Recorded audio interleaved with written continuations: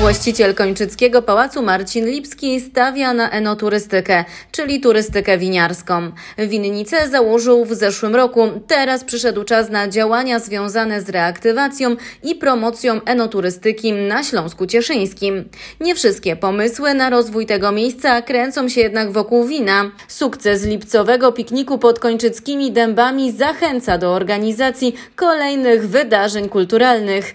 Pikniki historyczne i inne mają mają na stałe zagościć w Kończycach Wielkich przed pałacem. Spodziewaliśmy się sukcesu, ale nie aż takiego, powiem, powiem tak. E, było bardzo dużo ludzi, między 3 a 4 tysiące gości.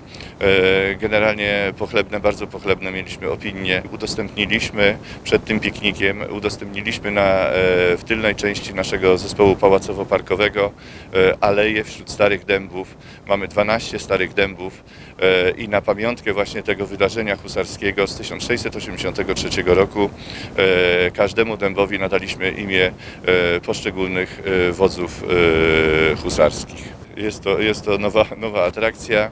E, widzimy, że z, z, wielką przychylnością i e, z zadowoleniem się spotyka, bo łączy, e, łączy praktycznie odciętą część kończyc wielkich ze starymi dębami pomnikowymi, czyli z Przemkiem i z Mieszkiem, które były tak trochę na uboczu, a dzięki tej alei łączy się to w taki spójny jeden organizm zabytkowo, powiedzmy pomnikowo-przyrodniczy gdzie mm, natężenie pomników i zabytków jest chyba największe w Polsce, bo mamy kilkanaście pomników i kilka zabytków, bo mamy e, nasz zamek piękny, mamy e, kaplicę Bożej Opatrzności, blisko mamy kościół świętego Archanioła i folwark. Następne imprezy przewidujemy w sierpniu. Będzie też uruchomione kino letnie, na razie w takiej formie otwartej, a za rok już w takiej formie już cyklicznej, zorganizowanej, gdzie, gdzie, gdzie myślimy o weekendowym kinie e, plenerowym. Rozmawiając o przyszłości Kończyckiego Pałacu, nie sposób pominąć remontu całego obiektu oraz problematycznej drogi. Wewnątrz powoli robimy. W tej chwili już e, skończyliśmy wieżę widokową. E, była również udostępniona na pikniku, także powiem tak, że byłem w szoku, jak była kolejka czasami godzinna do wejścia, ale widać, że też to się wszystkim podoba i wszyscy czekają, co tam dalej będziemy robili. E, także powoli również robimy w środku.